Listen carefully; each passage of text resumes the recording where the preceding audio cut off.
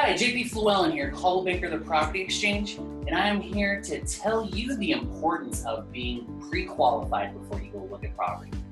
The number one thing that you need to have in your hand in order to get an offer accepted is having that pre-qualification letter in your hand. That will give you the ability to write that offer and have confidence that that seller knows that you have the ability to buy their property.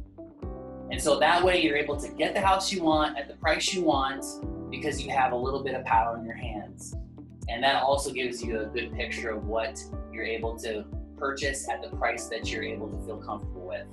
And when you're out there looking, don't always focus on purchase price, but focus on that payment. If the payment is comfortable, then the price doesn't matter. I'm JP Fluellen, Coldwell Banker the Property Exchange. We will catch you next time.